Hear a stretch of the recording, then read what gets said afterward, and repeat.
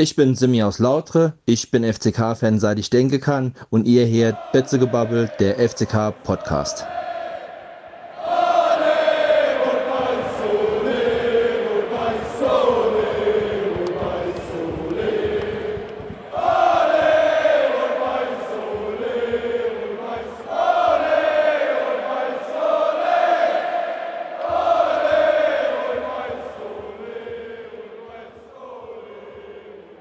Herzlich willkommen zu unserer Folge 78. Mein Name ist Daniel und mit mir heute dabei sind der Flo.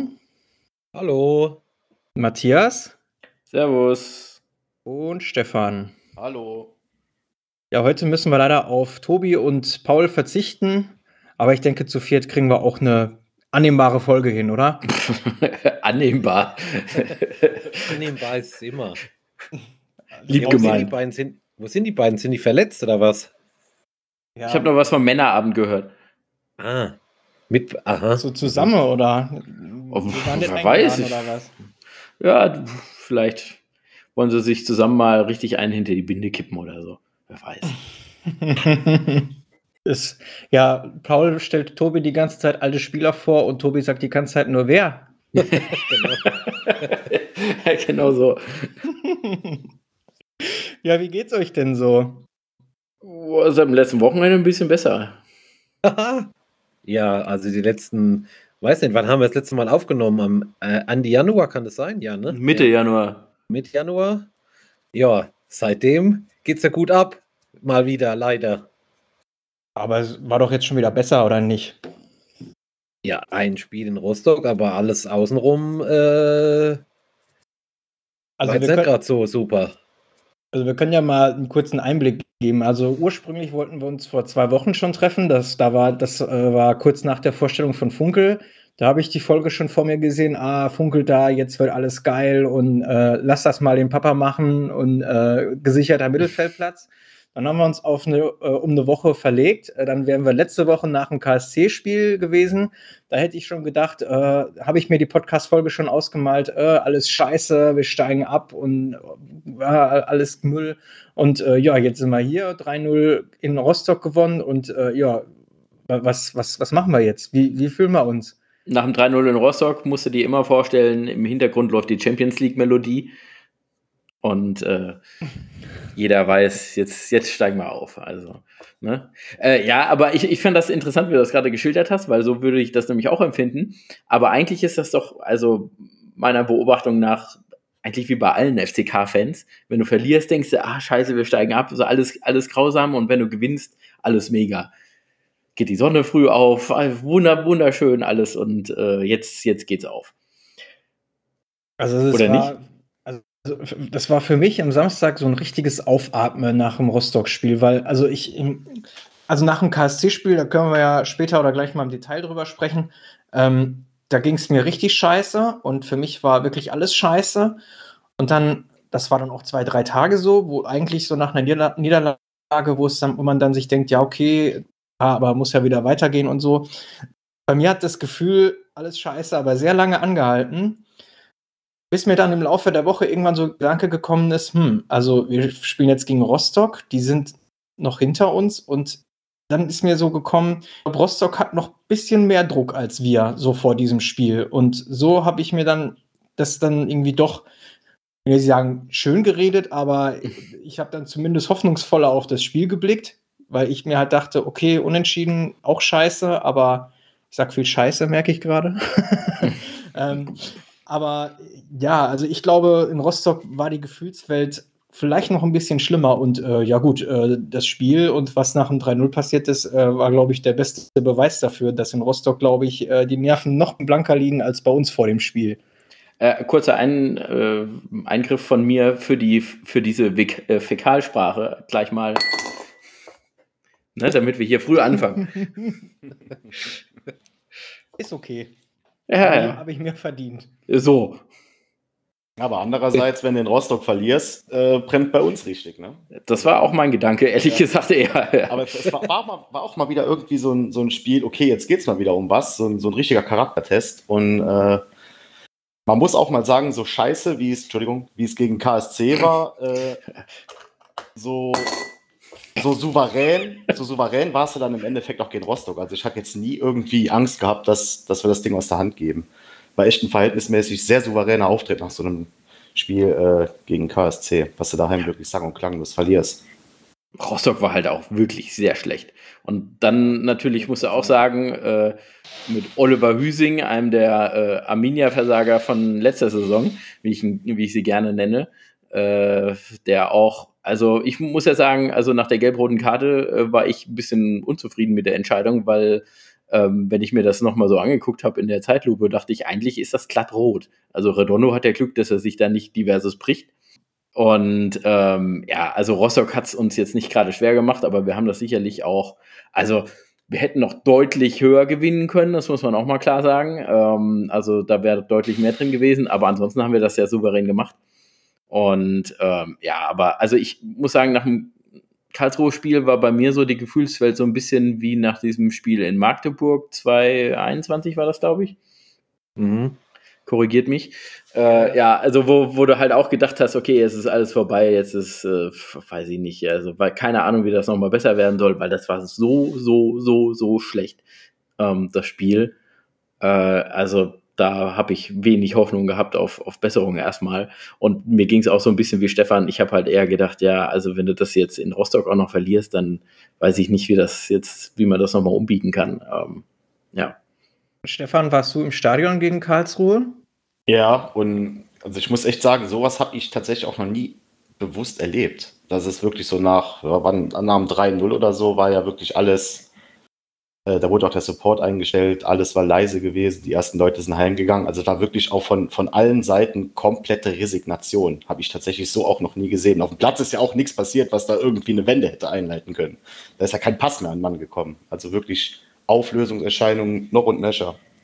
Ich, ich hatte so den Eindruck, nach dem Spiel, dass die Karlsruher Fans und die Mannschaft sich zwar gefreut, gefreut haben über den Derby-Sieg seit, was weiß ich, auf dem Betze seit 92, aber so richtig ist da auch nicht so diese Stimmung aufgekommen, weil der Gegner halt wirklich in der zweiten Halbzeit ja kein Gegner war, sondern mehr ein Opfer.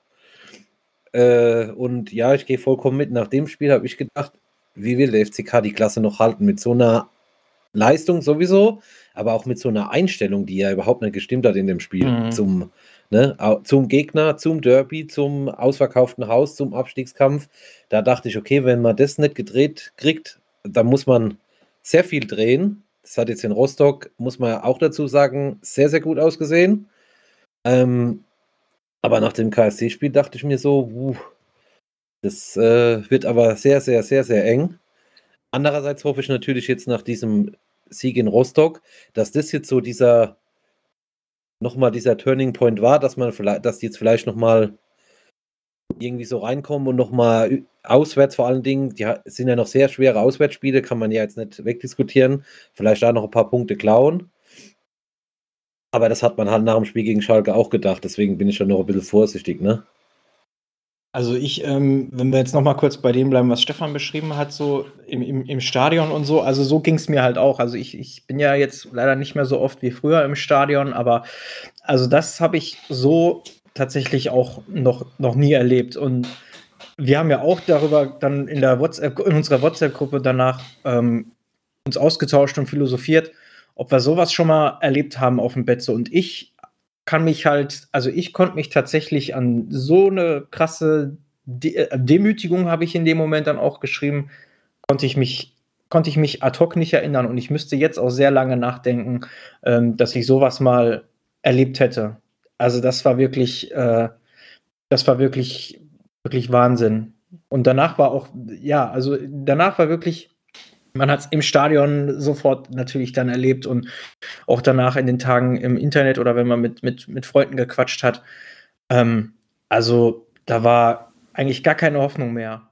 Und äh, jetzt hat man vielleicht die Chance, also gegen Rostock, das Spiel, ja, es war, also ich fand es in der ersten Halbzeit haben sie es eigentlich echt gut gespielt, in der zweiten Halbzeit bisschen, äh, bisschen ähm, dann ein, zwei Gänge rausgenommen, fand ich, aber vielleicht, also wann, wenn ich jetzt möchte man mal so, so diese, diesen Schalter umlegen und mal so eine Serie starten. Also klar, Osnabrück hat jetzt äh, letzte Woche in, äh, oder am Wochenende in Hamburg gewonnen.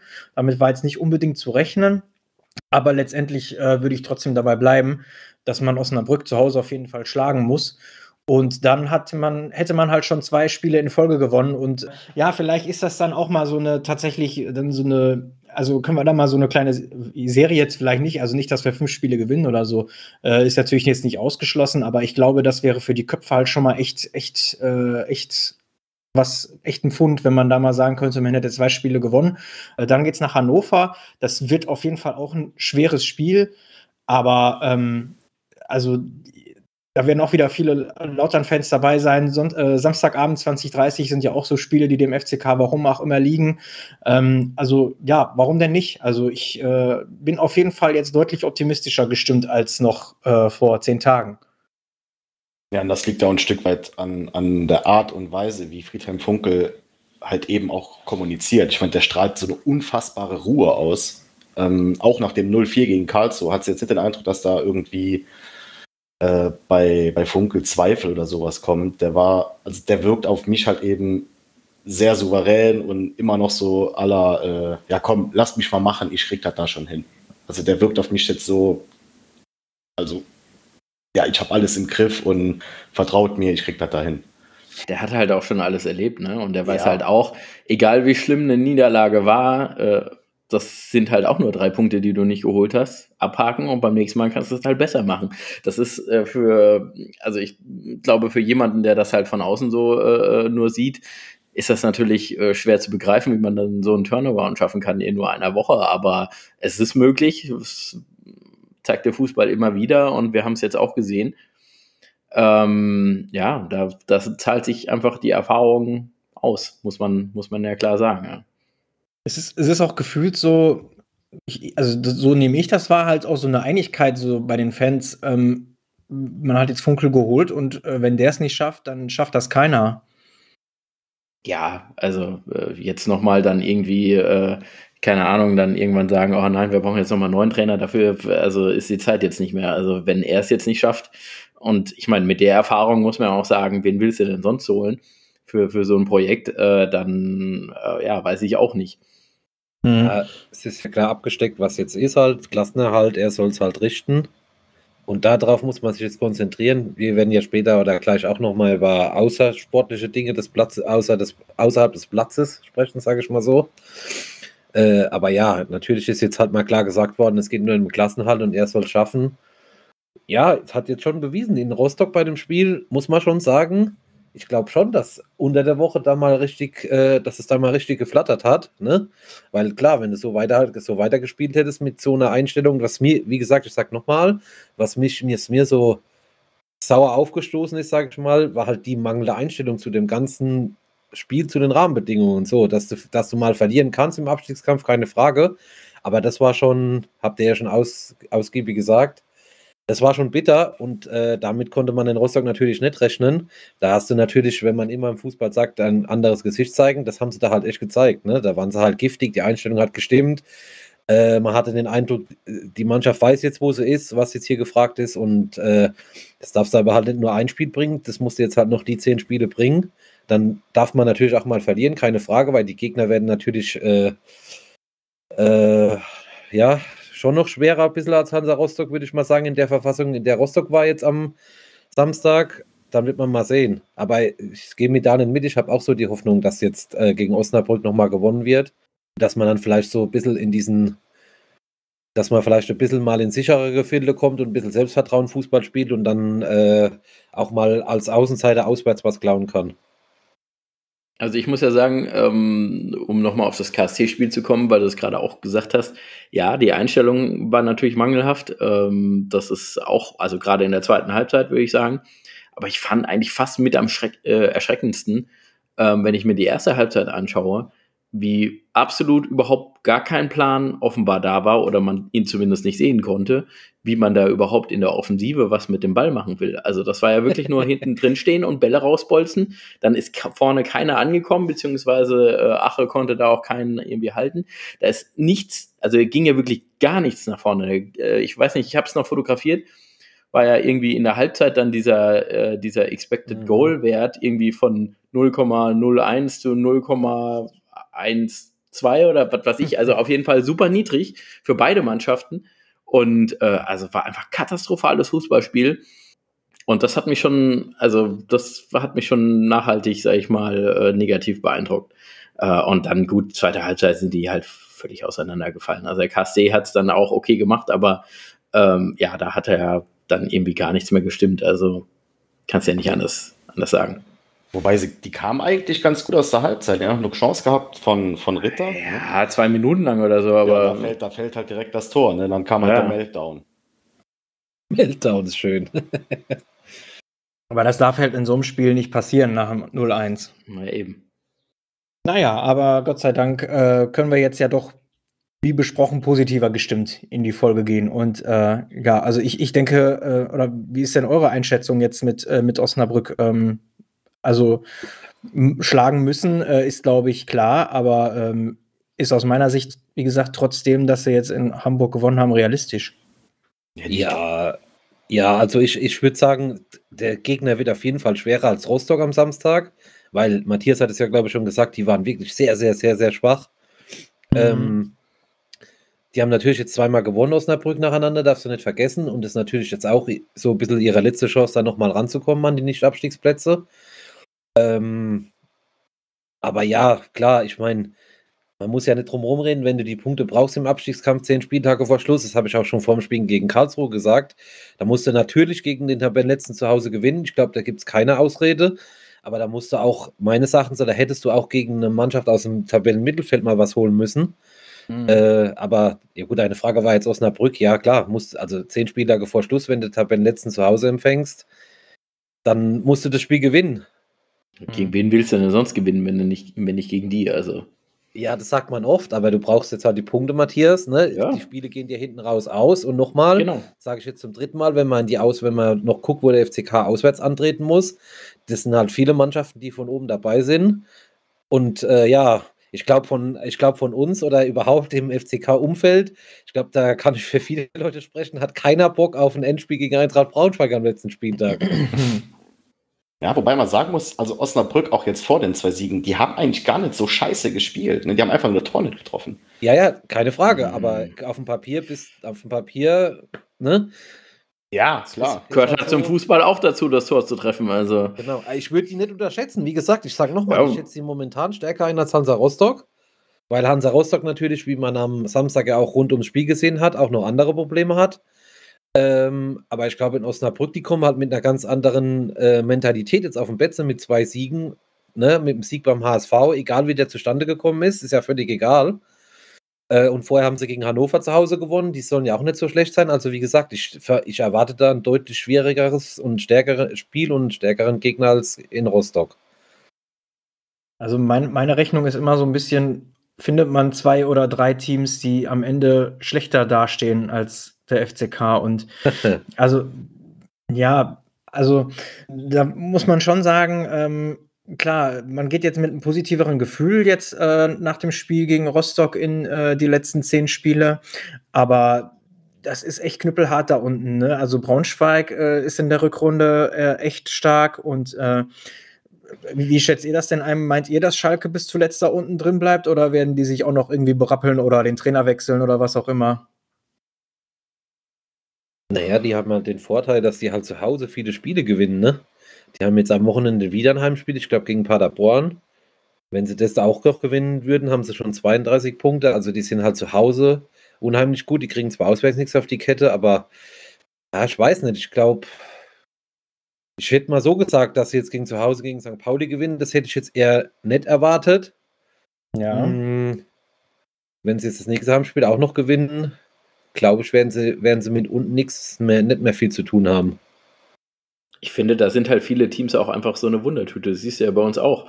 Ja, verlierst 0-4 äh, gegen Karlsruhe, dann gewinnst du 3-0 in Rostock. Jetzt abgesehen von Rostock vielleicht auch die anderen Mannschaften.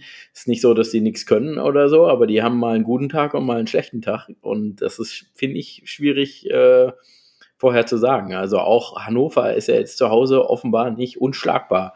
Ja, zum Beispiel. Ähm, das ist äh, einfach äh, ziemlich eng in der zweiten Liga und ja, schwierig einfach, ja. Man muss, man muss es einfach schaffen, konstant irgendwie mal ein paar Punkte zu holen und nicht, also, weil so ein 3-0 in Rostock ist halt nichts wert, wenn du äh, dann eine Woche später wieder zu Hause gegen Osnabrück verlierst. Das ist einfach so.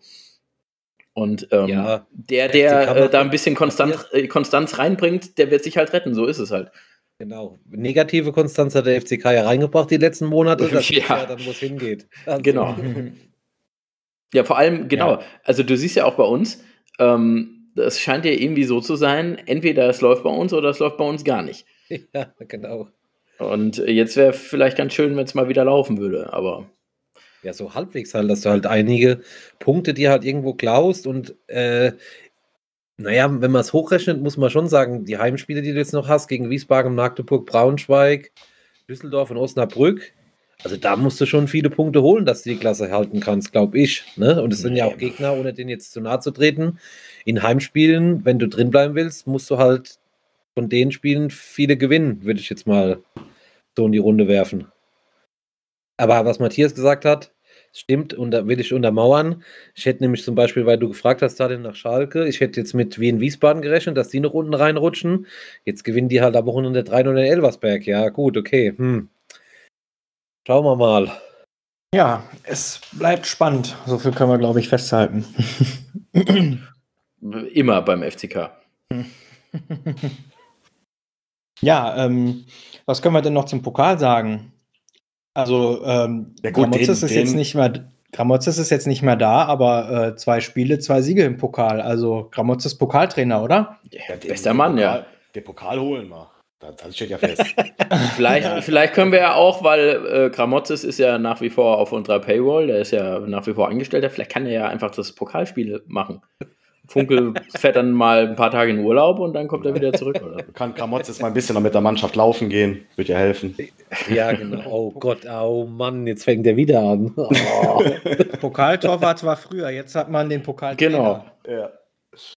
Aber ich bin ja auch erstmal gespannt, äh, gegen wen wir spielen und vor allem, also dann, äh, ob, ob man dann in Saarbrücken spielt oder äh, woanders, weil ähm, ich habe ja jetzt vor, äh, also vor ein paar Tagen, also letzte Woche, äh, habe ich ja das Spiel gesehen, äh, als Arminia da gespielt hat und die und? haben ja unter der Woche einen neuen Rasen verlegt und genauso sah das dann halt auch wie ein Rasen, der halt nach drei Tagen natürlich noch nicht angewachsen ist.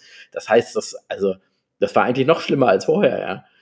Die haben da teilweise äh, halbe Quadratmeter große Stücke rausgetreten und äh, weiß ich nicht was. Also ich bin gespannt, wie das da weitergeht. Ja. Was wäre euch lieber im Halbfinale? Schwierig, da gehen die Meinungen ja auseinander da nicht, aber ich würde, wenn ich meine sagen würde, würde ich sagen, Heimspiel gegen Gladbach ist für dich als FCK auf dem Papier im Vorhinein des Spiels einfacher, weil du bist der Außenseiter. Jetzt, egal wie die nächsten Ligaspiele ausgehen, da sind 50.000 Leute im Stadion, die werden dich gnadenlos nach vorne peitschen, egal was da passiert. Ne? Liga unabhängig, Position, egal.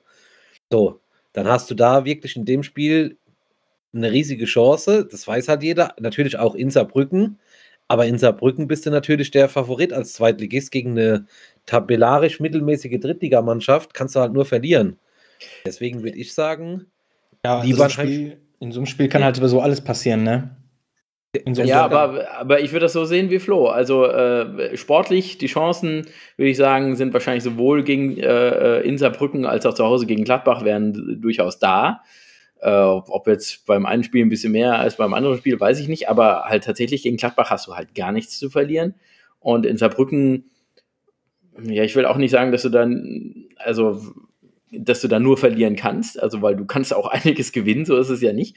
Aber äh, ja, die Ausgangslage schon, schon ein bisschen eine andere. Und selbst wenn du dann zu Hause gegen Gladbach verlierst, äh, dann, äh, äh, sag ich mal, gibt das ja jetzt keine negative Stimmung dann für den Rest der Saison oder so. Aber wenn du dann äh, in Saarbrücken verlierst, dann ist die Stimmung vielleicht schon, schon ein bisschen eingetrübt. Und ähm, ja, von daher, Heimspiel gegen Gladbach wäre vielleicht tatsächlich ein bisschen äh, besser für uns. Ja, wenn du in Saarbrücken verlierst, dann heißt es halt, oh, jetzt hast du die riesen Chance nicht genutzt, gegen Eben. ins Finale zu kommen. Und gegen Bundesligist, ja, die Gladbacher sind ja jetzt auch nicht so konstant, dass die jetzt jede Woche wegfielen gehen. Also ich finde schon, dass wir auch nicht eine Chance gegen die haben.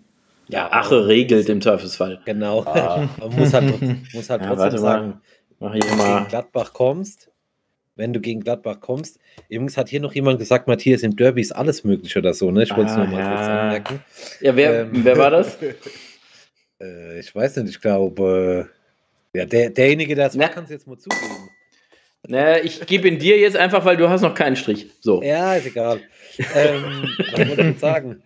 Bin ich aus dem Konzept gekommen. Ja, nee, aber genau, darf ja nicht vergessen, gegen Gladbach, das spielst du gegen eine Bundesligamannschaft, ne? Die ist normalerweise besser besetzt als du, ohne jetzt äh, zu sagen, die sind 14., 13. oder 11., die sind halt einfach besser. Deswegen sehe ich halt die Voraussetzungen in dem Spiel, im Heimspiel auf dem Betze im Pokalhalbfinale, das erste Mal seit, äh, weiß ich nicht, zehn Jahren, damals gegen äh, in München halt. Da wird's da wird es egal sein, ob du nach 10 Minuten 0-1 zurückliegst oder so. Da werden dich die Zuschauer trotzdem weiter nach vorne peitschen. So auf sehe ich das halt einfach. Weil es halt ne, in, beiden in beiden Fällen eine riesengroße Chance ist. Vorausgesetzt, das Spiel in Saarbrücken findet halt nächste Woche überhaupt statt. Wer weiß. Nee, Spaß beiseite. Ich wollte gerade fragen, wann ist denn das? Aber okay, nächste Woche. Ja. So. Also ich vermute mal, ich will, ich will es jetzt nicht beschwören und ich weiß jetzt auch nicht ganz genau, aber ich vermute mal, dass da, da schon die Ansetzung so gewählt ist, dass halt gesagt wird, es wird auf jeden Fall gespielt, egal wo und wenn es in Saarbrücken wieder äh, regnet am Dienstag vorher, äh, am Montag vorher, dann äh, spielen wir halt in äh, Frankfurt oder Lautern. was weiß ich wo. Lautern, Elversberg. In Elversberg, So. im, im, im einzigen zweitligatauglichen Stadion im Saarland, meinst du? Aha, wunderbar. Ja, also ich, ich, also jetzt mal kurz zum Pokal allgemein. Was wäre das denn für ein geiles Halbfinale, wenn Stuttgart noch Leverkusen geschlagen hätte? Also das, boah, also das wäre ja richtig geil gewesen. Also egal wer da dann gewonnen hätte am Ende, äh, das hätte halt alle gebockt und äh, ja, so ist halt die Wahrscheinlichkeit, dass Leverkusen den Pokal holt, leider schon sehr, sehr hoch, ne? Ja. Gut, die, ja, gut, die werden eine Woche vorher äh, besoffen sein, weil sie die Schale kriegen. Dann werden sie drei Tage später besoffen sein, weil sie die Euroleague gewinnen und dann kommen wir. Naja, naja. Naja, Ja, ja, aber selbst besoffen, also Selbst besoffen würde ich sagen, hm, wird wird, schwer. wird's eng. Ja. Ja, in der Verfassung muss man halt so klar sagen.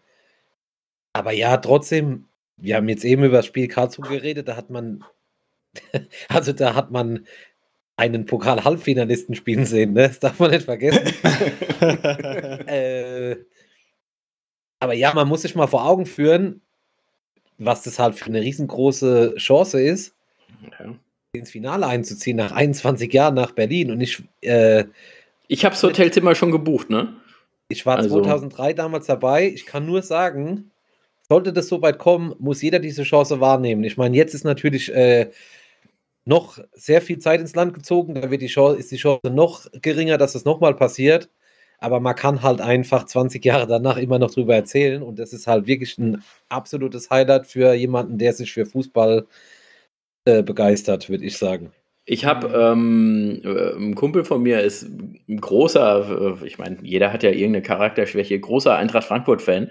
Und als sie dann vor ein paar Jahren zum ersten Mal wieder im Pokalfinale waren, dann hat er halt so, ah ja, weiß nicht, hat keine Karte gekriegt und jetzt weiß er nicht, ob er da irgendwie, weiß nicht, 400 Euro zahlen soll, um sich irgendwo eine zu besorgen und so. Und war sich dann nicht so sicher. Habe ich gemeint, ey, ist scheißegal, scheiß auf das Geld, das ist einmalige Sache. Äh, muss, musst du machen, fährst du hin. Er hat das gemacht und ich sag mal, er hat es nicht bereut. Also du weißt nie, was passiert und äh, das ist vielleicht tatsächlich gerade für so Vereine, äh, gerade auch für den FCK, äh, muss man ja sagen, die, also die Wahrscheinlichkeit, dass das jetzt äh, wieder so häufig kommt wie in den 90ern, ist jetzt nicht so hoch. Also äh, da muss man einfach dabei sein, würde ich auch sagen.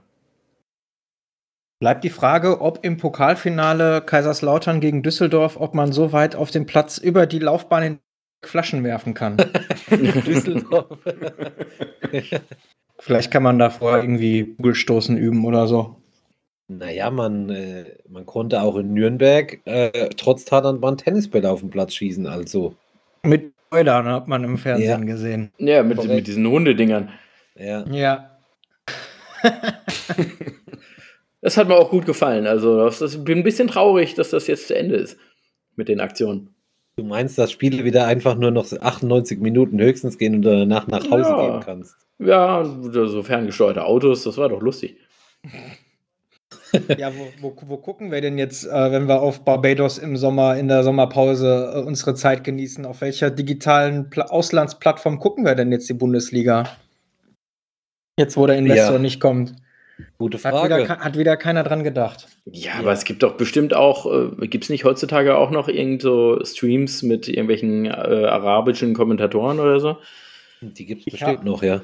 Ich hab, wir haben seit zwei Wochen ist unser Dazon ausgelaufen, aber bei uns Aha. läuft's noch. Bei uns läuft's noch. Also, ich bin da, Oder der, der guckt jemand schwarz. Dazon Schwarzgucker. Aha. hallo, Polizei, hallo? Ist da die Kripo? Naja, ich kann sagen, also dass äh, äh, das äh, letzte, der letzten Spieltag äh, hier 2008 gegen Köln, das habe ich bei einem Freund hier geguckt, der damals noch äh, Premiere gecrackt hatte.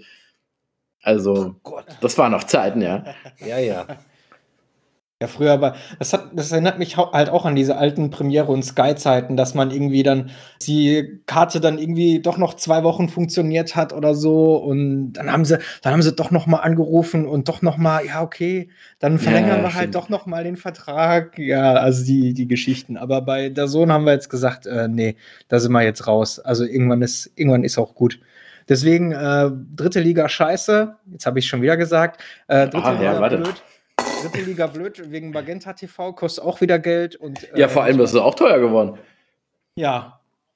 ja du, du hast ja sowieso für Bielefeld. Wollen wir hoffen, dass du nicht. Nee, ich hab's nämlich nicht, weil ich hab's nämlich nicht, weil wir gucken immer zusammen bei einem Freund im Keller äh, und äh, wenn das mal nicht funktioniert, dann gibt's ja nee, nee, nee, der hat es dann äh, äh, abonniert, aber ähm, und wenn das mal nicht funktioniert, es gibt ja jetzt auch die Möglichkeit über OneFootball für 5 Ach, Euro ja. pro Spiel oder so, das zu gucken. Das ist ganz praktisch Mhm. tatsächlich. Aber halt 20 Euro für Magenta äh, Sport ist im Monat ist ein bisschen, weiß ich nicht. Ja, und dann brauchst du auch noch mal RTL Plus für die Euroleague zu gucken. Ja, Ja. das kommt auch noch. Ja. Ja, dann gehe ich hier in die Kneipe und gucke hier. Euroleague. Ich höre uns schon Steffen Freund in uns ins Finale schreien. Gott. Ich weiß nicht, ob es das wert ist, ehrlich gesagt. nee, Ja, doch, ich glaube, das wäre es schon wert, ohne Spaß jetzt. Ja, gut, man kann Ton ausmachen, das stimmt schon. Die Europa Oder halt dabei sein, das ist natürlich immer das Beste. Schön nach Karabakh, genau. Jetzt, jetzt, haben wir, jetzt haben wir schon übers, vom Pokalfinale geträumt, äh, wo das Halbfinale noch nicht mal gespielt ist. Dann heben wir uns jetzt für die nächste Folge die Europapokal-Träumereien auf. Aber da habe ich richtig Bock drauf. Und dann ist Tobi auch wieder dabei und dann. dann Ja, aber, dann- aber dann- das Problem ist ja, nächste Folge kannst du davon vielleicht schon nicht mehr träumen. Das ist ja, jetzt kannst du das noch. Ja, dann, man, Ja, muss doch, man braucht doch was, wo man drauf hinarbeitet. Dann, ja, dann haben wir halt Pech. Dann müssen wir wieder, uns, äh, wieder Ah. 20 Jahre warten. Ah. Oder, wobei bis dahin sind wir ja, ja, bis dahin haben wir uns sportlich für die Ja, bis dahin Champions. League, ja, ja. Cape Town Devils in der Super League. Ja, oder Ja. hier äh, Conference äh, League dann gegen Kilmarnock oder. Vielleicht spielen bis dort auch 19 deutsche Teilnehmer in der Champions League oder so. Und dann. Ja, okay. Ähm, ja, so viel zum, zu den, zum Sportlichen oder den Ereignissen auf dem Platz, nenne ich es jetzt mal. Ansonsten hat es ja noch ganz viel drumherum gegeben. Zum Beispiel, ähm, äh, dass Durm seine Karriere beendet hat. Ähm, und äh, ich stelle jetzt mal, ich, ich sage jetzt nicht, ich stelle die These auf, aber ich frage mal ganz provokant, wäre Erik Durm noch beim FCK, wenn Gramozis schon früher entlassen worden wäre? Ist so Naja, eine in- Frage, die ich mir zuletzt gestellt habe. Naja, in dem Fall musst du halt sagen, in dem speziellen Fall hat es halt schon auch Verletzungsgründe, ne? Aber ich würde die Frage trotzdem mit Ja beantworten. Ich glaube, der wäre noch da, ja. Also es ist Aber ja schon sehr. War Ja. der denn wirklich die ganze Zeit verletzt oder war das immer nur so ein bisschen und äh, hier und da? Ja, gut, die ganzen Verletzungsprobleme, die der halt, ha- er halt hatte, ne? Äh, und dann halt die Umstände, ich meine, die sind ja bekannt, ne? Also, dass jetzt einige Spieler da aussortiert waren, Ja, in okay. Anführungszeichen. Ich glaube, ich würde es mal platt formulieren, der hat dann einfach gesagt, okay, das war's jetzt, kein Bock mehr oder so. Ich bin eh sehr, oder ich bin eh gesundheitlich angeschlagen so. Hm. Aber die Frage von Daniel würde ich jetzt, also es ist, glaube ich, nicht von der Hand zu weisen. Das könnte ich mir schon gut vorstellen, glaube ich. Also ich, das trifft natürlich vielleicht auch noch andere Spieler. Können wir ja gleich auch nochmal drüber reden, die vielleicht auch noch da sind. Unabhängig davon, dass du jetzt halt 3-0 den Rostock gewonnen hast, ist da schon einiges ziemlich falsch gelaufen die letzten Wochen. Das muss man halt so sagen. Ich glaube auch ein Funkel wäre gar nicht so böse, wenn er noch einen Dom hätte. Gerade auf, Außen, auf Außenverteidigerposition ist, ist es ja jetzt nicht ganz so dick bestückt beim FCK. Hm, Ich glaube auch, dass er, dass er beim, bei Friedhelm Funkel auch mit Sicherheit seine Einsatzzeit kriegen würde. Aber ja, Schade. Naja, ich finde es halt schade, dass Ronstadt verletzt ist, weil der war eigentlich gar nicht so schlecht. Äh, zuletzt Der fand wird ich. Jetzt wieder, der wird jetzt wieder zurückkommen, die Tage vermute ich mal. Und dann Okay. hast du da wieder eine Alternative mehr. Der kann ja auch links spielen. Aber stimmt, was Stefan sagt, als Buchholz gesperrt war gegen Karlsruhe. Ne, da kommen, können wir ja gleich zum Thema kommen. Dann spielt auf einmal Ben Solinski halt hinten links in der Verteil in der Abwehrkette Ja. so. Das ist halt, ne? Das war nicht so Das geschickt. Ja, we- weiß ich gar nicht, ob das so ungeschickt war, aber der Mann hat halt seit äh, Monaten keine Spielpraxis und war halt auch ein Kandidat, der, so kann man es ja sagen, ist ja bekannt, äh, alleine aufs Tor kicken durfte bei Gramozis in den letzten Tagen von, oder Wochen von Gramozis, so. Und auf die Spieler musst du dann halt setzen, weil du niemand anderen mehr hast, so in dem Sinne. Weiß ich halt nicht, ne? Da kann jetzt Friedhelm Funkel nichts für. Den würde ich auch komplett ausnehmen, weil der muss halt jetzt nur noch retten, was zu retten ist. Aber, Aber ich glaube, so ist, so ist halt. Retten, was zu retten ist. Ja, so Aber ist das halt ist- schwierig.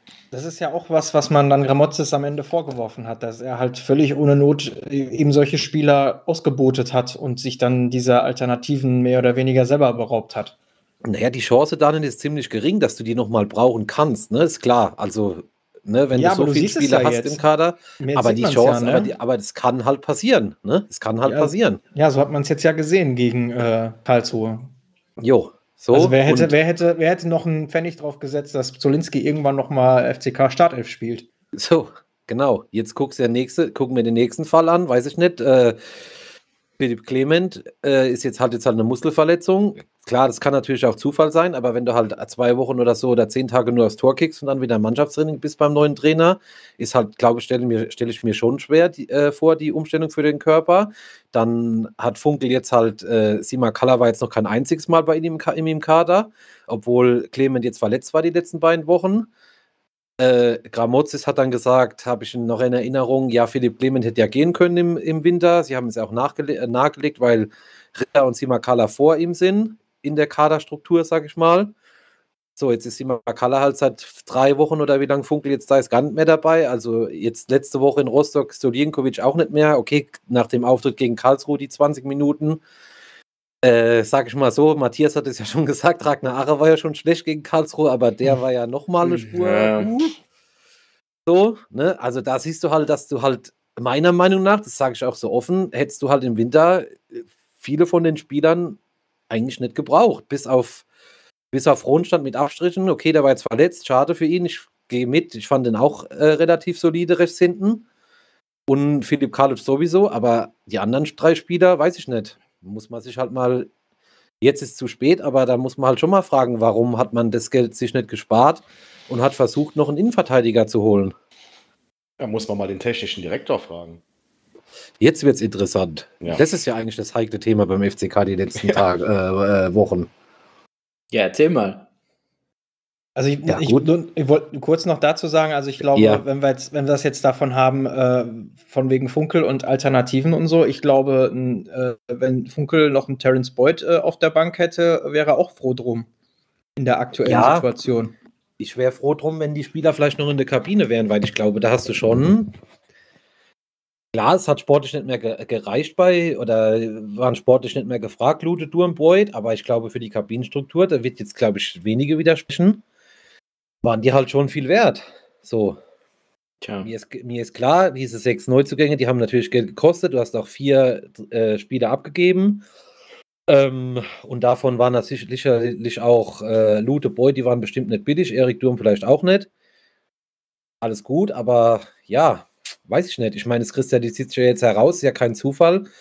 Wenn mal einer gestrichen wird, ein Spiel, sage ich nichts, aber auch bei Gramozzi sind ja schon so passiert, wenn wir da gerade weitermachen können, dass halt Spieler Mhm. direkt von der Start auf die Tribüne, auf der Tribüne gelandet sind. Ich weiß nicht, ob du das im Fußball halt machen kannst, sage ich ganz ehrlich, Mhm. wie es ist.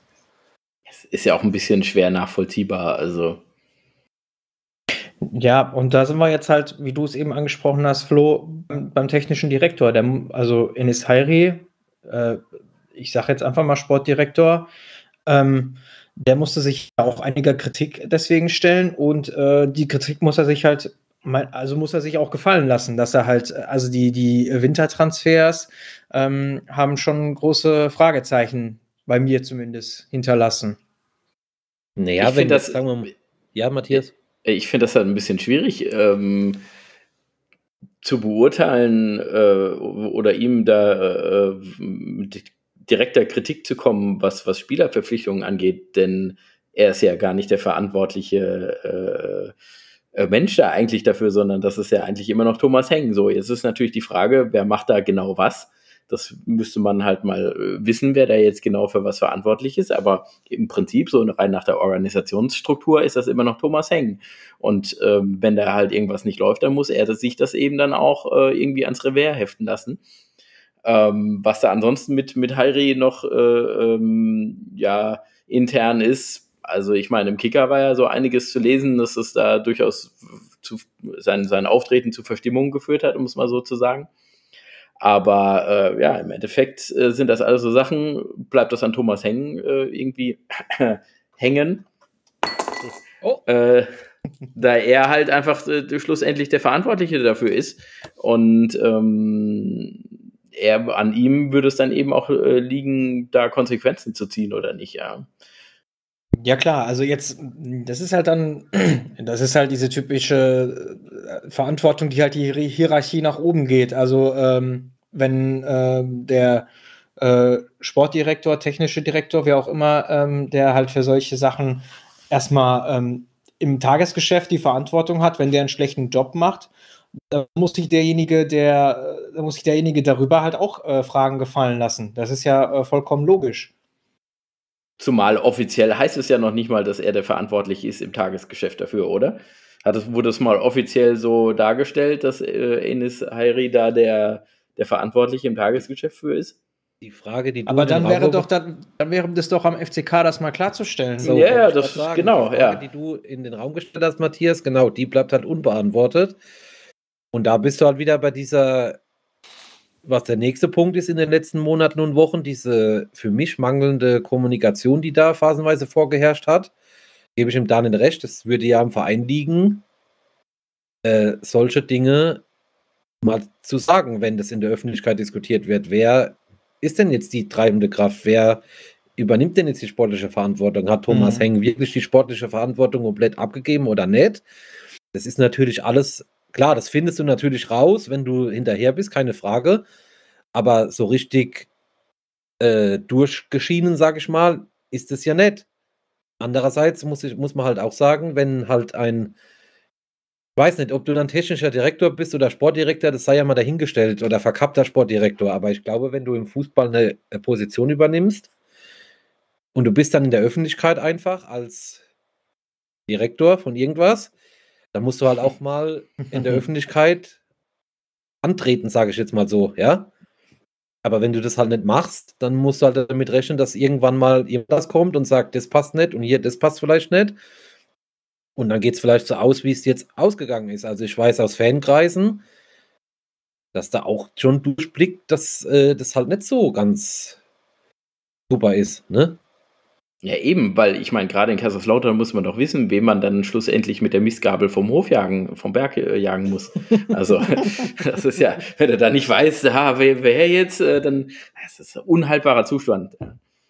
Naja, in dem Fall, in dem Fall sprechen wir jetzt weiter in die Zukunft. Äh, wenn, sie, wenn sie die Klasse halten sollten, dann brauchst du ja auch eine, musst du ja auch einen neuen Kaderplan und du brauchst einen neuen Trainer nach Friedhelm Funkel, weil ich gehe jetzt mal zu 99,8 Prozent davon aus, dass er nicht weitermacht. Er hat es ja schon gesagt.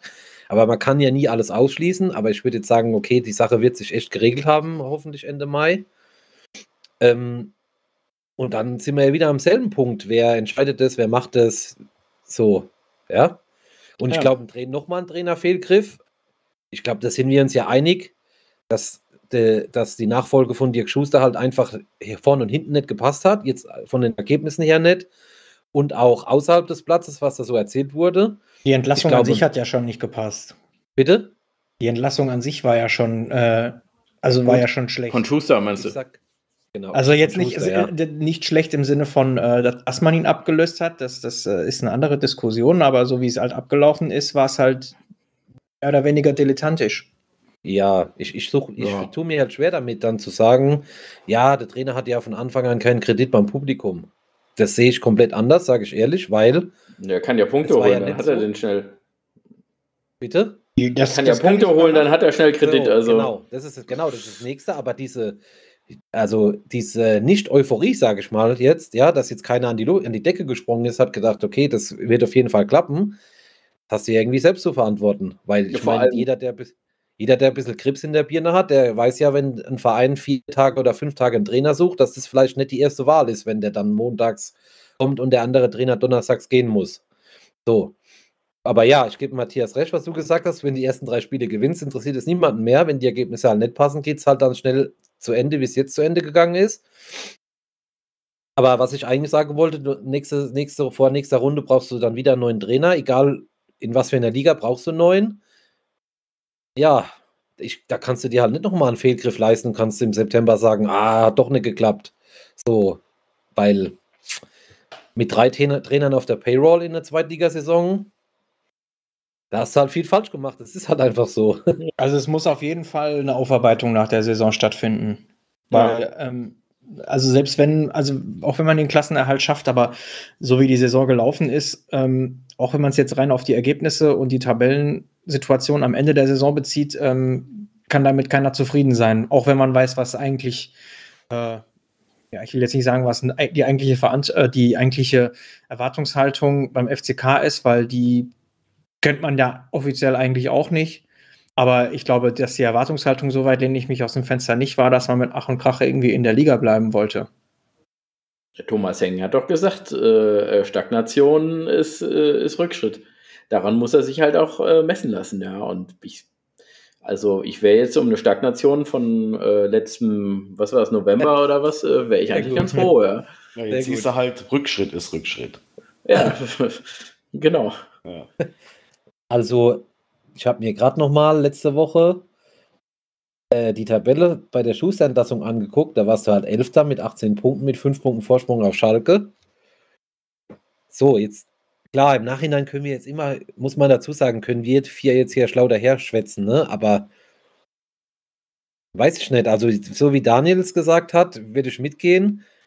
Der Anspruch war natürlich wahrscheinlich echt viel, viel mehr. Also, nicht nur einfach mal Elfter werden und locker die Klasse halten oder Neunter werden, sondern meines Erachtens würde ich schon sagen, da war schon im internen Kreis schon ein bisschen mehr, mehr zu erwarten oder wollten die mehr, was ich auch verstehen kann auf der einen Seite, wenn du halt jahrelang da Geld reinpumpst und willst halt irgendwann mal sportlichen Erfolg sehen, aber die andere Seite ist halt, Da, ja, müssen wir uns, da müssen wir uns doch gar nichts vormachen. Also, das, klar, das mit den regionalen Investoren, klar, das sind jetzt nicht so, äh, ich würde jetzt mal behaupten, das sind jetzt nicht so, so äh, Investorenhaie, wie man es jetzt Das sind keine Heuschrecken. Nee, genau. Das Wort, was mir gefehlt hat. Aber wir wissen genauso, dass in der zweiten Liga kein Geld zu verdienen ist. Und die wollen lieber heute als morgen aufsteigen. Und ähm, da, das, äh, jetzt zum Beispiel äh, habe ich vor ein paar Wochen den Rasenfunk gehört mit ähm, Schwerpunkt, äh, wo der Schwerpunkt eben auf Lautern war. Und äh, Rasenfunk, also äh, super Podcast, äh, Grüße auch an der Stelle, aber ähm, dass da dann die Rede davon war, dass der FCK sich erstmal in Liga 2 etablieren sollte. Ähm, das ist einfach nicht machbar. Also natürlich kann jetzt nicht, ähm, ist da jetzt keiner ähm, sauer gewesen, dass man jetzt nicht direkt den Durchmarsch geschafft hat oder dass man das nach zwei Jahren nicht geschafft hat. Alles schön und gut. Aber ich glaube, äh, ich, also ganz ehrlich, ich finde die zweite Liga auch geiler. Ähm, die Vereine sind viel geiler. In der ersten Liga ist so viel, so viel Quatschvereine dabei. Das ist so Heidenheim, Hoffenheim, was auch immer. Das ist alles langweilig. Aber ähm, Geld zu machen ist halt mit dem FCK nur in der ersten Liga. Das ist einfach so. Und ähm, unabhängig davon, ob man das jetzt nach außen kommuniziert, dass man aufsteigen will oder nicht. Aber das ist mittelfristig die Erwartungshaltung. Und ähm, ja, also da müssen wir uns alle nichts vormachen. ja, aber Es dann geht ja nicht sprechen mal wir über eine Distanz von, sprechen wir da über eine Distanz von, sage ich mal, drei Jahren oder sprechen wir über acht Jahre? Wenn wir über acht Jahre sprechen, sage ich natürlich, da gehe ich auch nicht mit. Das dauert halt dann zu lang, klar. vor dem Hintergrund, den du erläutert hast, aber wenn wir über drei Ich oder sag vier mal- Jahre sprechen, Ich sag mal so, ich glaube nicht, dass es zu Anfang so einen Drei-Jahres- für Jahresplan gibt, dass man da was aufbauen möchte, weil ich würde eher behaupten, das Geld wird immer weniger, je länger man in der Liga ist. Außer es schießt halt noch mal jemand, keine Ahnung. Eben. Äh, ein Dienes findet doch noch mal einen Geldtopf und schießt da doch noch mal was dazu, aber das Geld wird ja nicht mehr. Der Und- Punkt ist, nee, nee, nee also, aber ich sag ja, wenn wir jetzt, wenn wir jetzt über 2000, wenn wir darüber noch 2029 sprechen würden, dann würde ich sagen, ja, okay, klar. Glaube ich auch nicht, dass es einen Dreijahresplan gibt, aber sagen wir mal so, ich würde es mal so sagen, wenn es jetzt diese, dieses Jahr normal gelaufen wäre und du hättest wieder einen Mittelfeldplatz belegt, okay, ja, dann hätte man nächstes Jahr, glaube ich, mal langsam nach oben schieben können. Aber jetzt hast du halt natürlich komplett die, also von meines Erachtens komplett die Struktur vom Kader halt komplett auf links gedreht. Ja, da hast du jetzt gar keine Kon Kontinuität drin, so mit drei, vier Leihspielern. Äh, ja, einige Spieler werden nach der Saison auch gehen müssen, ist ja klar. Muss man ja nur auf die Einsatzzeiten gucken. So, dann hätte ich nächstes Jahr gesagt, okay, kann man mal le- leicht nach oben schielen. Klar, dein Anspruch kann ja nicht sein, wir waren jetzt zweimal Achter oder Neunter und jetzt wollen wir nächstes Jahr 14er werden, das ist ja klar. Gerade mit dem Stadion im Rücken, mit dem Publikum und und und, das haben wir ja alle schon er- erörtert. Aber im Moment, wenn du so ganz kurz, also wenn du jetzt bis, bis zum Schluss wahrscheinlich im Abstiegskampf bist, ich glaube, da müssen wir uns jetzt nicht viel Illusion machen, relativ kurz vor Schluss, hoffentlich nur, dann weiß ich nicht, ob du dann in den nächsten zwei, drei Jahren sagen kannst, ah ja, jetzt wollen wir mal in die Bundesliga aufsteigen. Der Das Punkt ist, ja, ja, Ja, also der Punkt ist, und den habe ich ja auch schon häufiger gemacht, und das äh, klang ja bei Daniel gerade auch schon so, und das kann man nicht, also das muss man immer wieder herausstreichen, weil es einfach so ist. Die zweite Liga ist für den FCK ein Minusgeschäft. Es geht nicht mehr darum, dass man da kein Geld verdienen kann, sondern du verlierst Geld. Jedes Jahr verlierst du Geld. Deswegen ist es auch immer nötig, dass äh, die ähm, SPI da jetzt schon seit Jahren, also gerade in der dritten Liga ist es natürlich noch, noch extremer, ähm, aber in der zweiten Liga ist es eben auch so, das hat Stefan Kunz schon richtigerweise gesagt äh, und es wird auch jeder danach äh, wird das gesehen haben, es ist einfach ein Minusgeschäft. Mit den Kosten, die du mit dem Stadion zusammen hast, sind mal mindestens 5, 6 Millionen, die der Spielbetrieb im, im Fritz-Walter-Stadion kostet, äh, jedes Jahr in der zweiten Liga. Und das kannst du nicht mit dem Fernsehgeld, das es da gibt, nicht kompensieren. Und klar, wenn das Stadion immer komplett voll ist, so wie es jetzt in den letzten zwei Jahren eigentlich äh, fast war, äh, dann holt das einiges raus, aber ähm, muss halt sagen, also auf Dauer ist die zweite Liga für den FCK nicht finanzierbar. Und deswegen muss natürlich die Perspektive irgendwann auch sein, aufzusteigen. Sonst bringt das alles nichts. Ähm, aber äh, auch ganz klar ist, das kannst du halt auch nicht mit der Brechstange machen. Also, oder wenn du das unbedingt mit der Brechstange machen willst, dann musst du noch sehr viel mehr Geld reinschießen als, äh, als jedes Jahr, weiß ich nicht, ein paar Millionen oder so. Dann, ich meine, guck dir an, was der HSV für Kaderkosten hat und die haben es auch nicht geschafft in den letzten Jahren. Also, wenn du das mit der Brech Brechstange äh, versuchen willst, dann reden wir hier schon von, von mittleren, also von zweistelligen Millionenbeträgen jedes Jahr. Und das ist natürlich nicht zu machen. Aber ähm, also ich denke, es wenn man halt- sich, wenn man sich dieses Jahr äh, äh, äh, stabilisiert hätte und äh, den Kader klug verstärkt hätte und vielleicht so, einen, so, einen kleinen, so eine kleine Verjüngung, äh, Verjüngung dann auch drin gehabt hätte, also dann ja Beuth und Durm weg äh, und dann nach und nach Spieler da integrierst und so äh, in eine funktionierende Mannschaft, dann hättest du auch nächstes oder übernächstes Jahr auf jeden Fall zumindest mal ins obere Drittel äh, vorstoßen können. Und du siehst ja auch in der zweiten Liga, da gibt es immer mal Mannschaften, die auch mit nicht so viel Geld da oben mitspielen können, wenn du es richtig anstellst. Und das wäre halt der Weg gewesen. Aber es dann. dann kommen wir zusammen. Ja, genau. Aber dann halt- halt Schuster rauszuwerfen, war meiner Meinung nach äh, zumindest zu dem Zeitpunkt falsch. Und jetzt hast du halt ein größeres Problem an der Backe. Ja, Ja, du hast halt in den letzten Monaten so ziemlich alles falsch gemacht, was du falsch machen kannst. ja muss man eben. auch mal sagen. Ist ja nicht nur, dass Eben. du Schuster rauswirfst, sondern auch im Winter, dass du dann, da war ja auch Brechstange. Du holst dir sechs neue Genau. Leute im Winter. Das ist ja kompletter Wahnsinn. Ja, Endlich sag's mal die einer. Kabine um die Ohren. Also, Aber Brechstange halt nicht, um aufzusteigen, sondern dass man halt irgendwie drin bleibt. Weil, also, du musst es halt so machen. Also ich bin jetzt, ich bin jetzt Laie, ich bin kein BWLer, äh, ich drück, drück mich da sehr vereinfacht aus, so wie ich die Sachen halt verstehe. Aber es wird halt wahrscheinlich irgendwie gehießen haben, ganz am Anfang, okay, wir steigen jetzt auf. Wir haben Geld, keine Ahnung, wir können euch drei, vier, fünf Jahre, können wir finanziell auf dem Niveau bleiben, bevor wir dann irgendwann sagen, okay, jetzt das halten wir jetzt so nicht mehr durch. Ähm, und dann brauchst du halt, ähm, dann brauchst du halt eben das, was Stefan gesagt hat, dieses, dieses Geschick halt einfach. Du brauchst dann halt das glückliche ja. Händchen und äh, da muss es dann, das wird dann halt so, muss es, letztendlich muss es so laufen, wie, keine Ahnung, als Union aufgestiegen ist, als oder als Heidenheim aufgestiegen ist. Ähm, die hatten auch nie die, die, die, äh, die dicksten Kader der Liga, aber die haben sich halt klug verstärkt und mit dem Geld, was sie hatten, haben sie halt gut gearbeitet. Naja, wobei Union hat sich, hat sich äh, doch, äh, wie, wie hießen die nochmal, bei denen wir uns auch Geld gepumpt haben? Ähm, die, Quatrex. Ja, aber bei Quatrex, bei Quatrex haben die sich doch auch dick äh, Geld geholt, nur dass es bei denen halt funktioniert hat. Ja, also, und die hatten halt den richtigen ja. Trainer. Genau, die haben halt Geld für den Trainer ausgegeben. Ja, genau. Ich, genau, ich spreche jetzt, ich spreche jetzt in erster Linie gar nicht von den finanziellen Aspekten, das wissen wir ja alle. Ich wollte jetzt nur mal auf diese sportliche Ausrichtung hinaus. Ne? Wenn du jetzt so die letzten Monate oder ja, zwei Jahre immer ist immer diese Worte Stabilität, Kontinuität gefallen, das brauchst du jetzt halt nicht mehr zu erzählen, wenn du halt so agiert hast, wie du diese Saison agiert hast. Ja? Ja. Und am Schluss dir ein 70-jähriger Trainer, ist kein Affront oder so, Gottes Willen, dir die Scherben zusammenkehren soll und äh, ein, nur noch die Klasse halten soll.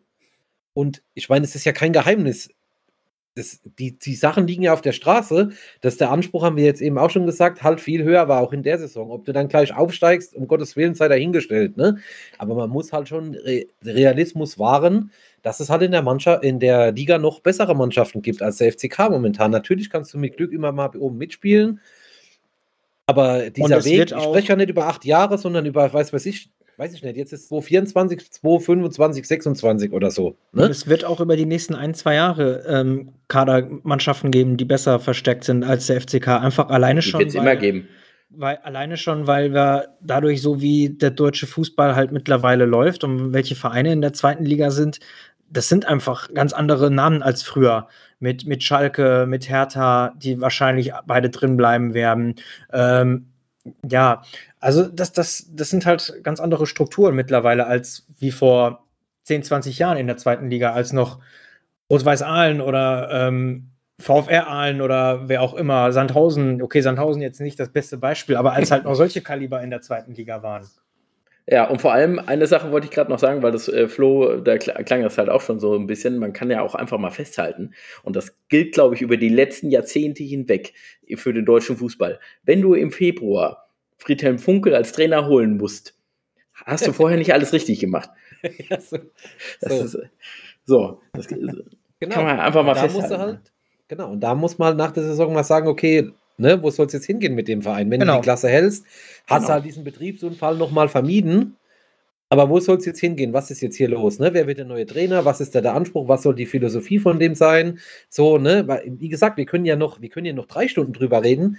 Noch ein Beispiel, wenn jetzt gesagt wird, nach der Schusterentlassung dritter, dritter, ähm, na, junge Spieler integrieren. Ja, wo sollen die denn herkommen beim FCK? Das ist jetzt meine Gegenfrage, ne? Zum Beispiel. So, Laufleistung stimmt nicht. Ja, äh, weiß ich nicht, Stefan hat es, glaube ich, vorhin gesagt, hier Konditionbolzen oder so, ne? Jetzt in Rostock auch nur 111 Kilometer gelaufen. Die Mannschaft wird jetzt halt keine super Lauftalente mehr werden. Das ist halt alles, sind halt alles solche, ja, weiß ich nicht. Da wollen wir halt irgendwas rechtfertigen, aber es zählt dann im Fußball nicht nur die Laufleistung.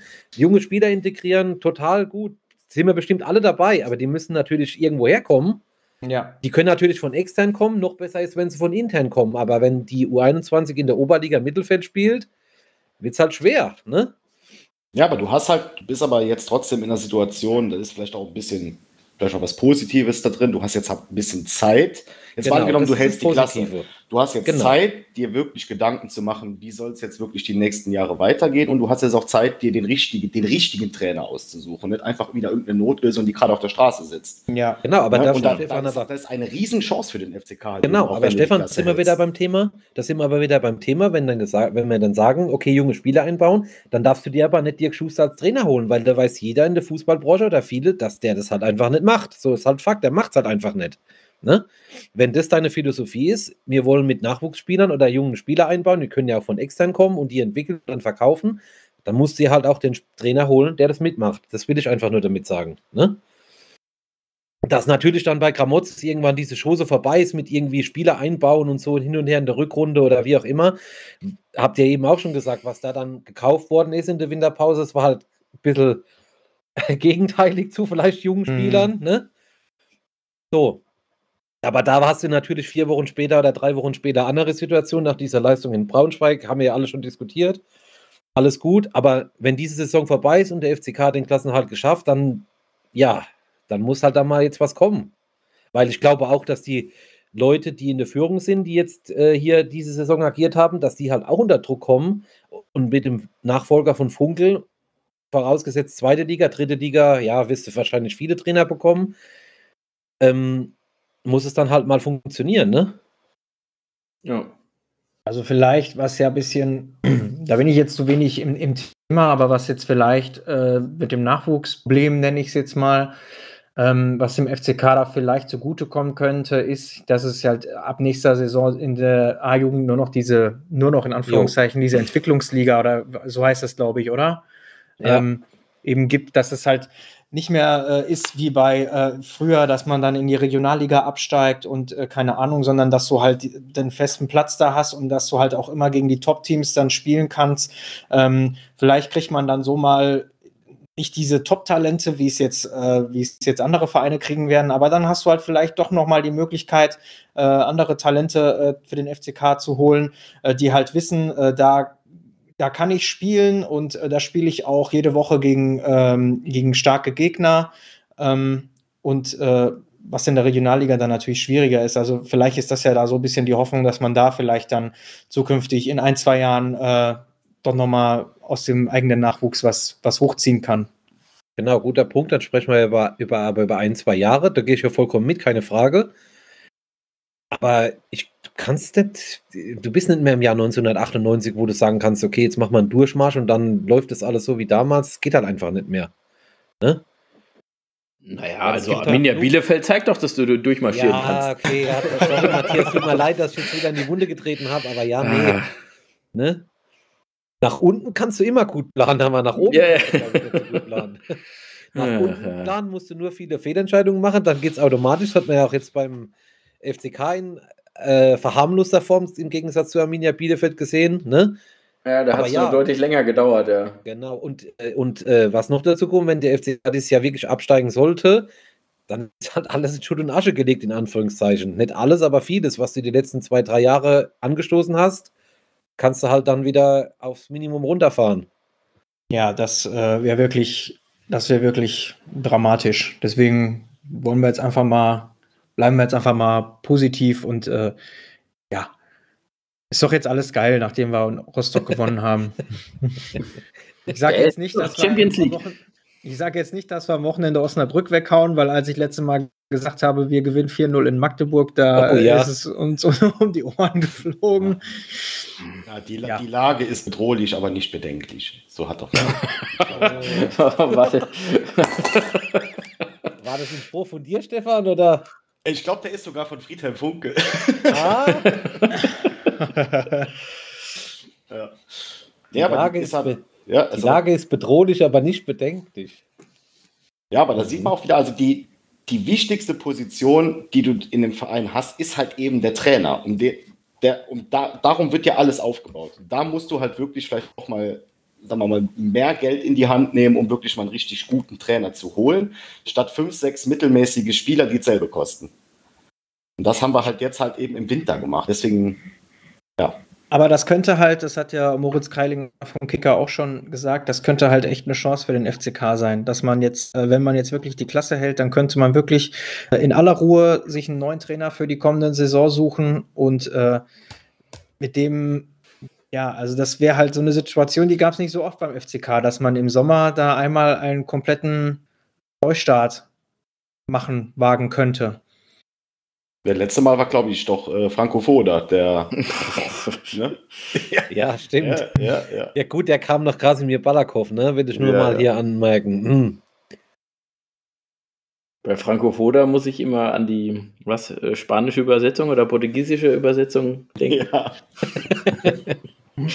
ah, ja, naja.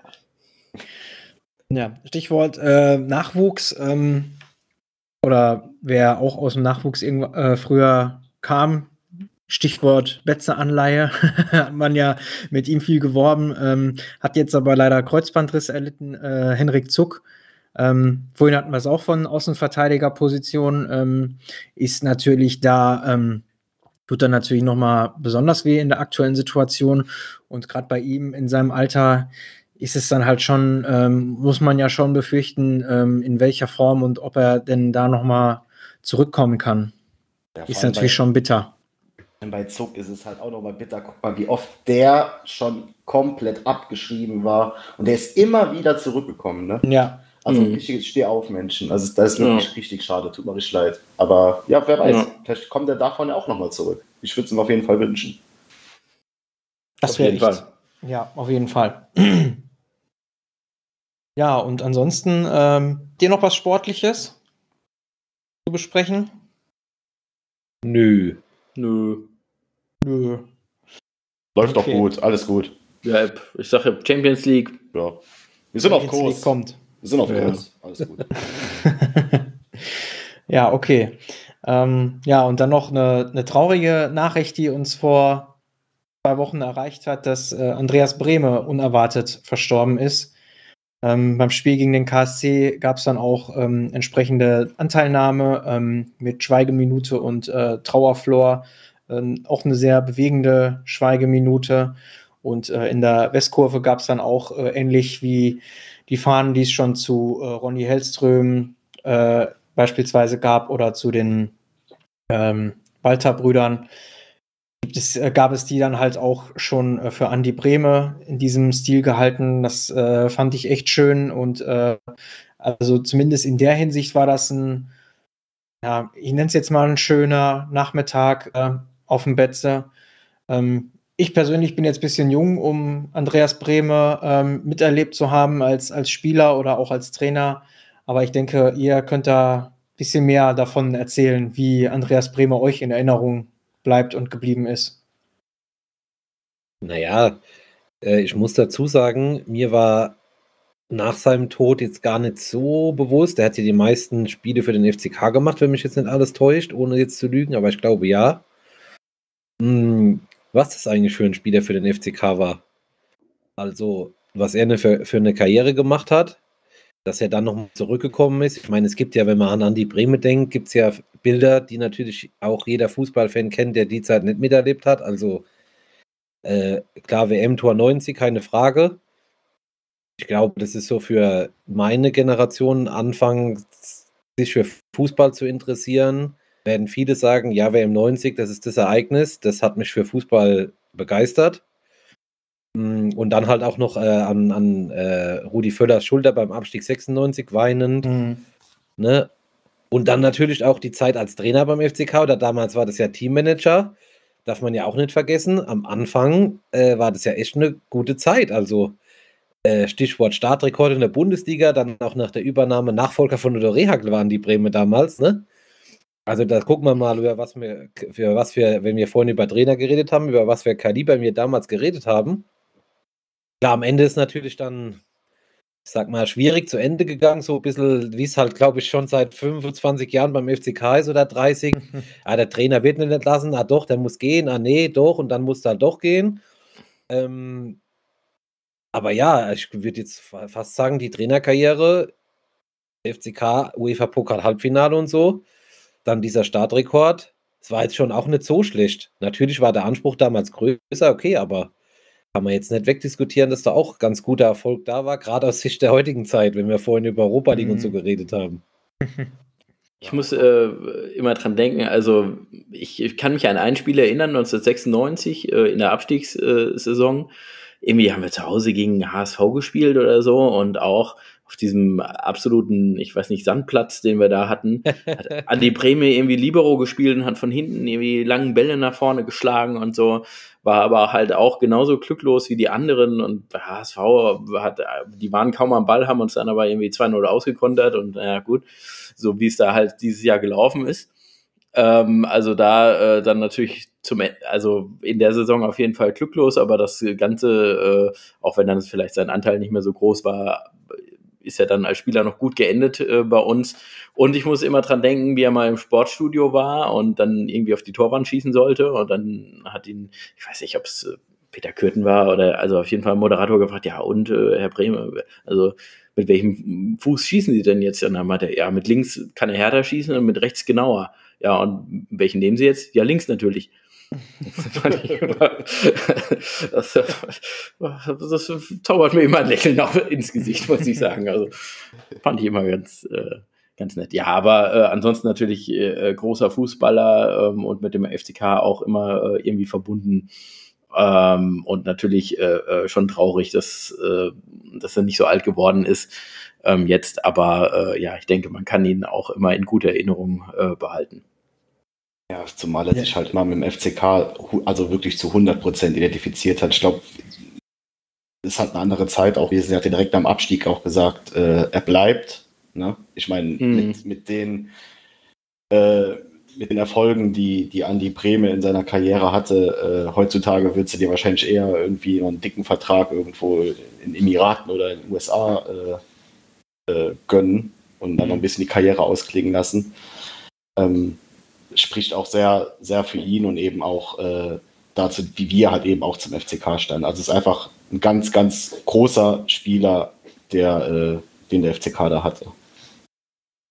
Ja, es ist wirklich so, wie, wie Flo halt gesagt hat, ähm, dass einem das jetzt, das ist ja eigentlich auch schade, dass einem das erst so, so posthum äh, bewusst ist, was das, was er eigentlich für, also was er für, für den FCK eigentlich geleistet hat und äh, ja, das ist, also ich werde den Gedanken halt nicht so ganz los, dass das so einer der letzten großen FCKler halt war, äh, die, die da von uns gegangen, der da von uns gegangen ist in so einem jungen Alter. Also äh, klar, FCK hatte danach auch noch äh, Spieler, die es danach zu auch was zu, äh, zu was gebracht haben, allen voran jetzt äh, Miro Klose zum Beispiel, wie im Rekordtorschütze, aber ähm, bei dem hatte man halt nie den Eindruck, dass er nach seiner Zeit beim FCK, dem FCK so äh, verbunden geblieben wäre. Ähm, also klar. Hallo, er wollte auch Trainer werden.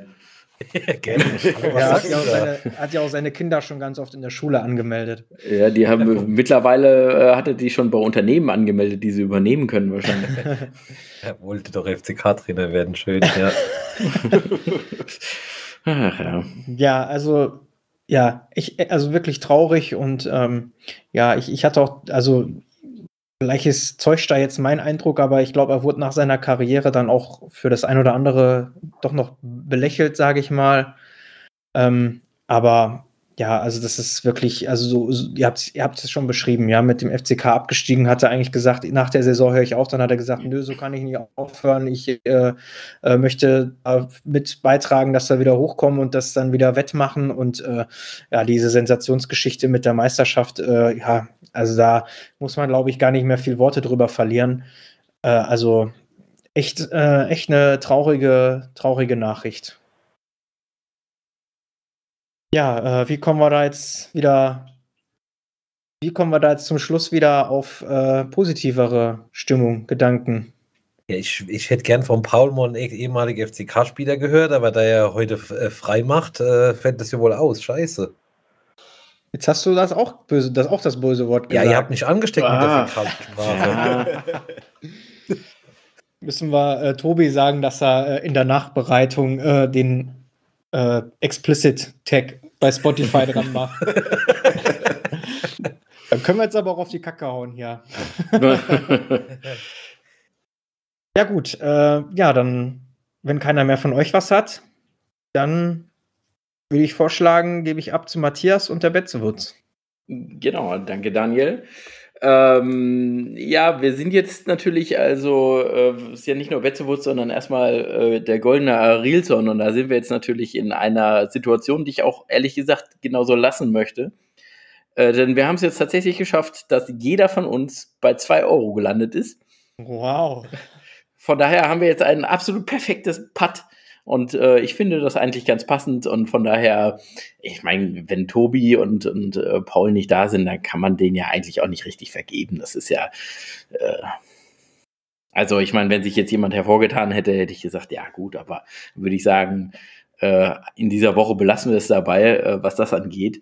Und ansonsten, ähm, ist es so, also haben wir jetzt äh, nochmal 8 Euro dazu und dann äh, sind wir bei 226 Euro äh, momentan.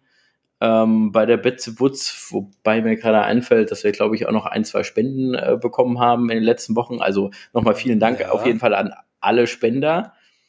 Grüße an Ähm, Sebastian Zobel an dieser Stelle. Danke. ach ja, ich glaube, das Ja. hast du uns äh, ermöglicht, äh, Flo, kann das sein? Ja, was heißt der, äh, was heißt ermöglicht? Der hat halt in diesem, äh, in, im SWR-Podcast halt äh, schön mal Rasen getroschen und dann habe ich halt gedacht, okay, da muss was fertig sein. Und er hat ja die, meines Wissens hat er ja äh, eiskalt erfüllt, ne? Ja, ja, hat er gemacht. Ja, ja. So. Hat gespendet, liebe also Grüße, liebe Grüße an Zobel und liebe äh, Grüße und vielen Dank. Ja, und äh, danke, äh, Flo, dass du da so dahinter bist, alter Geldeintreiber. Top Job. Top Job. Ja, also, äh, ich hätte mehr einladen nach dem Vorfall, aber es ist egal. ja, das ist, das ist ja dein Problem. SWR, beim SWR wird sehr lange gerechnet, äh, von welchem Konto das abgebucht, äh, verbucht wird. genau. Ja, und äh, also dementsprechend äh, gebe ich ein bisschen unverrichtete Dinge, aber äh, trotzdem glücklich und äh, dankbar für, für alle Spenden, die wir jetzt hatten und äh, mit dem Aufruf auch gerne immer weiter zu spenden, gebe ich wieder zurück an Daniel. Ja, vielen Dank. Ähm, ja, war einfach eine gehaltvolle Sendung heute, würde ich einfach Ja, mal eben. behaupten. Ja. Selbstlob stinkt nie, Daniel, würde ich mal sagen. Nein. Also war, war fast schon seriös, oder? Für unsere Es, also ich weiß nicht, ob das, nicht, dafür, an, ob das nicht, dass das nicht doch dran liegt, dass Paul und Tobi nicht dabei waren heute. Ich weiß nicht. aber Stefan, äh, für seriös haben wir, glaube ich, zu oft das böse S-Wort gesagt heute. Ja, es war. Du meinst Schalke oder was? äh, Okay, gut, äh, dann machen wir den Deckel drauf. Äh, vielen Dank fürs Zuhören. Wenn euch der Podcast gefallen hat, dann hinterlasst uns gerne eine Bewertung bei iTunes oder Spotify. Äh, kommentiert gerne bei uns auf der Seite, bei Twitter, Blue Sky, Facebook und wo auch immer wir zu finden sind. Äh, spendet sehr gerne für die Betzewutz, da freuen wir uns und die Einrichtungen, an die wir das am Ende der Saison spenden, immer äh, sehr darüber. Und ansonsten hören wir uns in der nächsten Folge. Bis dann. Ciao. Ciao. Tschüss. ja.